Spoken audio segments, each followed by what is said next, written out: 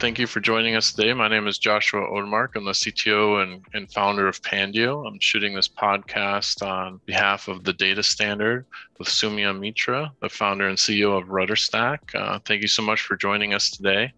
To kick us off, it'd be great if you could just tell us a little bit about yourself, um, what you've been up to recently, and what you're doing today. Thanks, Joshua, for inviting me to the podcast. Really excited to be here. So, my quick background I'm the founder and CEO of RudderStack. RudderStack, uh, for, for those who don't know, is an open source customer data platform. So, I, I can talk more about that but like my quick background uh, like before starting rudderstack i spent a year in this company called 8x8 and i was leading their data science work and like a lot of the experience around putting together a customer data stack at 8x8 led me to start rudderstack uh, before 8x8 i started a company called Mariana IQ. We are a B2B ad tech marketing tech platform. And we're building the next gen marketing automation system. But what I really learned at Mariana was that most marketing teams don't have a lot of data about their own customers. And that was also like one of the reasons uh, solutions like RudderStack make sense. And I, I, have a PhD in databases. Uh, have worked in data all my life, but uh, data applied to marketing at Mariana, at 8x8, and now at RudderStack. Nice. That's amazing. So if you had to sort of give a, a, quick little a pitch of RudderStack, so what's sort of the value prop of your your company? Like how do you sell it? Yeah, I mean maybe I'll talk about like what is the problem we are solving, and a, a good uh, example for that would be to talk about my eight by eight experience. So I I was like, uh, I think my responsibility was to do like interesting things with all the data 8x8 has. And if you don't know 8x8, it is one of the public telecom VoIP providers. So we had a phone system and a teleconferencing system and a Slack-like solution and so on. Now we had over a million people using our phone systems, uh, uh, like over 100,000 businesses. And the problems that I was trying was, what could we do with all the data we have about our customers? Right. So to enable sales, to enable marketing, to enable support, uh, uh, and so on. So, for example, could we predict who are the high value leads of all the people signing up on the free tier? Or like who are the customers who are going to churn based on their uh, product usage and so on, so that we could give them a coupon? Or what product should we upsell to what set of customers? Right? So there are all kind of interesting problems we could solve if we uh, had all the customer data and build like machine learning models on top of that.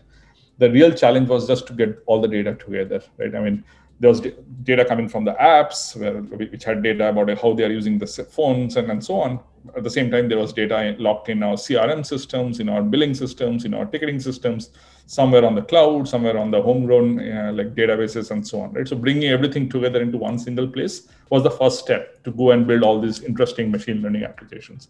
And that itself was a hard problem. There was a, not, not a single solution to like, bring all that data and bringing the data is only one part of it right? After you do your modeling and so on and let's say you compute a churn score or you compute a lead score you have to take that data and push it back into whatever system your business teams are using. So lead score has to go to salesforce the churn score has to go to like gainsight uh, upsell scores or recommendations have to go to some marketing tool and so on right? So that end-to-end data stack pulling the data uh, into some kind of a data warehouse you do your modeling and then pushing the data out there was no solution to do that and and so on. And that's what we're kind of building at Stack. Nice, that's amazing. If you had to define like a use case, so what's um what's your typical customer coming to to try to solve? Is it just to sort of connect all those things or like where do you guys um, start and stop in that whole process? Because you mentioned a, a, lot of very interesting things there like uh, machine learning models um, pushing out data for storage and things like that. So are you, are you guys sort of the, the pipes? Uh, if you can kind of explain exactly what you can do with rudderstack in that scenario. Yeah, so today we are the pipes. So for example like uh, like if, if 8x8 uh, were using RudderStack, they would have used RudderStack in, uh, they would have embedded our SDKs on the mobile apps. And, and, and then that will bring all the event streaming data, like the how, how people are using on the apps itself. Then we also have like the ETL like solution, which will pull in data from like the billing systems and the ticketing systems, everything into some kind of central data warehouse. On top of that, like the, the, all the modeling and machine learning modeling, that's that's outside of RudderStack. We don't take care of that, although that's the vision, uh, like to enable these kind of applications uh, in, more of a marketplace. But we are not there yet. And then after you have done your output, you you produce some table which is like the let's say the score that you want to push back to Salesforce. Then RudderStack can again take care of that. Now, so that's like one simple data movement, like event stream into the warehouse and then from the warehouse back into the system. There are all other kinds of interesting data movements also, right? For example, sometimes you want to take that event stream data and directly send it to some kind of a SaaS tool like Amplitude or or like for product analytics or, or some some marketing tool in real time. So that also is Rudderstack can take care of. So all kinds of data movement in batch in real time uh, is, is, what Rudderstack enables today. Nice. And as far as what you focus on, uh, do you focus on um, like um, sort of small to medium sized businesses or enterprises or all above? Yeah. So that's a great question, and I think the the problem is. Uh, pretty like relevant for any company right i mean unless you leave out like very very small startups like any company from like 20 25 people to like like fortune 500 companies uh, like would need need a solution to do like would need, need a solution like Rudderstack and and that that has been reflective of our customer base also right? We have like really small companies right? 20 25 people startups. At the same time we have like seven or eight public companies using Rudderstack so including like Pricelines of the world and crate and barrels and so on. So yeah we are pretty broad in, in in terms of our adoption part of it is also because everything has been inbound for us so it's not that we are like proactively going and selling like people have found Rudderstack and they have reached out to us. So that's that's also explains some of this wide widespread of customer base. Nice, that's amazing. One thing I would add there is like we are primarily B2C companies because like consumer companies are much more data driven compared to like traditional B2B companies. So if, if you ask me about like the vertical, it is primarily B2C companies, then some like cutting edge product led growth B2B companies, right? I mean, Stripe, for example, is using Rudderstack. So yeah, so like any company which is like data driven which thinks data as a first class citizen like a strong asset like th- those are like right fit for Rudderstack. that's amazing. So looking at your website there was something that was very interesting to us. So you know as part of the data standard community there's a lot of data engineers as part of the community and you have this on your website. So quote make data engineers the heroes of their companies uh, end quote. So that's a it's a very powerful sort of statement. Can you sort of talk about what what that means to you? Yeah i mean i have been a data engineer all my life right? I mean like starting from my phd days. And i think like data engineers have added so much value to most companies but like they don't see the the final impact of whatever they are doing right? I mean you're told to move this data from here to here and and and, and that's it right? You're running some pipelines but you don't see the what what is the end outcome of that right? And that's something I've struggled with. Now at eight by eight and like in, in, in such companies, like I had to come in and say like make a business case for this, right? Okay, now like these are the problems we could solve uh, like uh, as a data engineer, data scientist, like that boundary is anyway blurred now. But yeah, these are the business problems I, I can solve for for, uh, and that really elevates uh, the, the, the profession itself. And that's but to, to be able to do that, you need to go and identify firstly the business problems, like what what kind of like with all this data, what can we do? And like customer data is the first pillar of that. I mean, if, if like if you can solve like lead scoring or if you can like do better churn prediction uh, with with customer data that really like puts you in that like board level seat. And so that's kind of what what, what is again my first uh, first hand experience. Like i mean data engineers are way in the back. Like they, they need to have like more of like a executive ex, uh, exposure and so on. And hopefully uh, with with uh, tools like Rudderstack that will be possible. Nice. So you know, on this call, you've mentioned some pretty incredible customers, uh, and you've you've only been around since what 2019. So, can you kind of give our listeners a little bit of an idea of, of how you've just grown so quickly? Yeah, I think like we have been very fortunate. I mean, like this is my third startup, and I, I kind of uh, like seen like what it means to not have product market fit and what it means to have product market fit. So i think a lot of it is like uh, it's like work but also some luck right? I mean we, we, we got lucky with like finding the right problem uh, to, to, solve. And some things helped. Uh, i think we got on hacker news like we we open sourced the repo and we got on the first page a couple of times. And if you're selling to developers as we are hacker news is probably the best uh, platform you can get exposure. Mm. i mean a lot of like billion dollar companies have kind of came out of that uh, being on the first page of hacker news including segment and dropbox and, and so on. Yeah dropbox that's legendary yeah.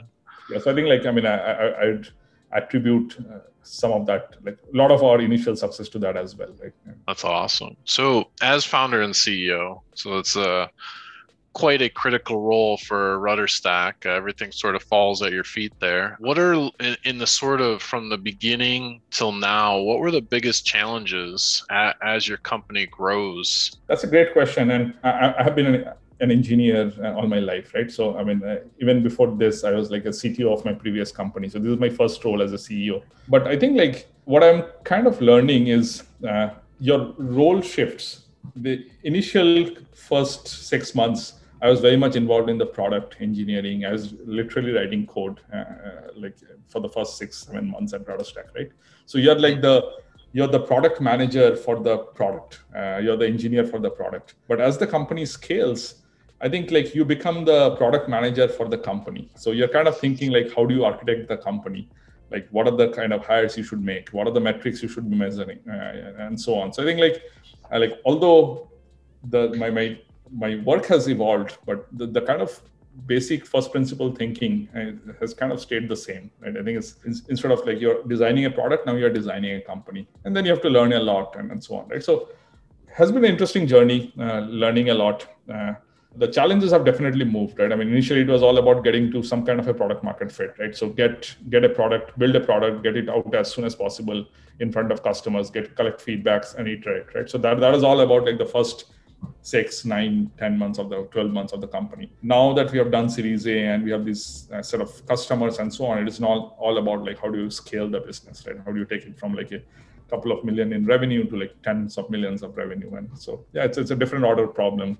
You have to make go and make the key hires and and, and like will help you do that. So yeah, it's like has been a journey for me trying to learn as much as I can. Do you miss that sort of programming you had to do at the beginning? Yeah, I do. I mean, like uh, very much I do. I mean, I, I think programming is definitely like enjoyable. I mean, if particularly if you're like not a very extrovert person, uh, like you, you don't like enjoy talking to a lot of people. I mean, the programming gives you that like not just uh, like yeah i mean you're in your zone and you enjoy and you, you get an immediate i mean you, you write some code you feel happy about it right? Yeah.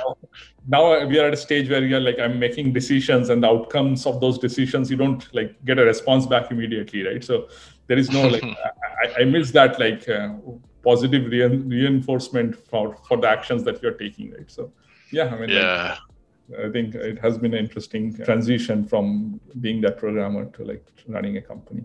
Yeah, it's a tough one. I, I you know, I went through it myself. Uh, you sort of like, I, I suppose any any engineer that moves up through management, you know, there's it, it can start off as a split. You know you're lucky if it's a split and it might be 50 50 60 40 and then eventually the bigger the company then it's like 80 20 and then you literally have no time to touch a keyboard. Even if you wanted to it's just impossible. It's one of the things we like to really do with these uh, podcasts is, is sort of talk about sort of forward looking and, and sort of the data ai and ml space. And you're in a very interesting position because your company does something that's super critical to a lot of ml and ai so i'm very curious um, if you had to sort of look out maybe 24 months from now and think as holistically as possible, because, you know, in my opinion, right now, a lot of AI and ML, it's still kind of like scratching the surface. Like it still could just blow up beyond what we could imagine right now. That's my personal opinion. But where do you think in like 24 months AI and ML will be uh, in the economy and anywhere really?